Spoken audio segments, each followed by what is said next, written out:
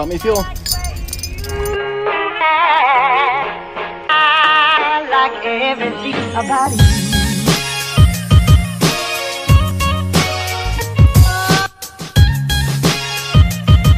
at the plane, and you'll never guess who is also in the plane.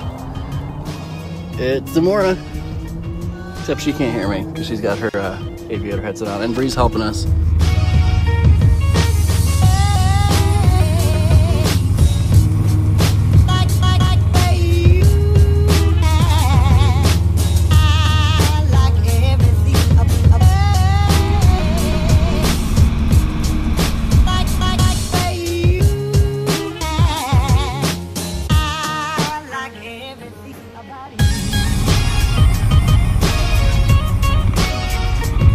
Hey Zamora, come tell people how you did. Come say hi to everyone.